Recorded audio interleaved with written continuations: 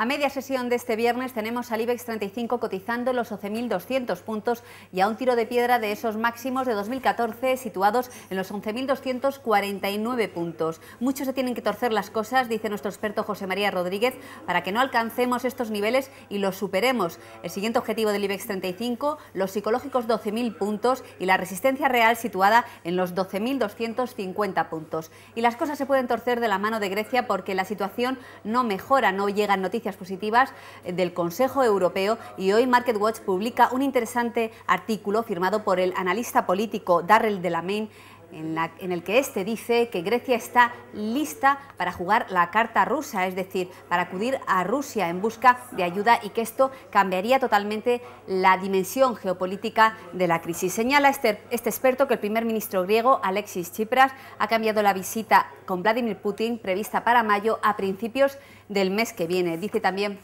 este experto que hay que recordar que Grecia es un país estratégico por su localización y que es por eso por lo que Estados Unidos ha trabajado tan duro en la posguerra para mantener a Grecia fuera del campo soviético y por lo que ha apoyado a Grecia como una pieza clave dentro de la OTAN. Muchos ya culpan, dice este experto, a la Unión Europea de desatar la crisis en Ucrania al insistir en que Kiev debía elegir entre la opción de Moscú o la opción de Bruselas. Ahora, en lo que es un enfoque estrecho de miras, la Unión Europea está dispuesta a no solo expulsar a Grecia del euro, sino también a deshacer 70 años de esfuerzo por mantener la estabilidad.